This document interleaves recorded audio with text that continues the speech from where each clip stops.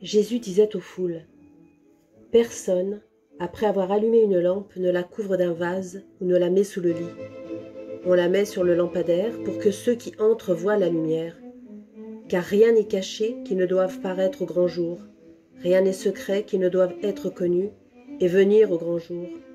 Faites attention à la manière dont vous écoutez, car à celui qui a, on donnera, et à celui qui n'a pas, même ce qu'il croit avoir sera enlevé.